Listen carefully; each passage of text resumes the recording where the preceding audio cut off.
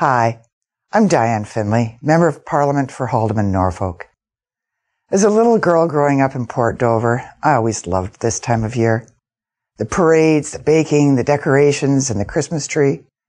And of course, being with family and friends. The simple truth is that it's not so important what's under the tree. What makes all the difference in the world is who's around that tree. So from Long Point to Lowbanks, from Caledonia to Kelvin and Courtland, I want to wish you all a very Merry Christmas and a Happy New Year ahead. And I hope that your tree this year is surrounded by those that you hold most dear.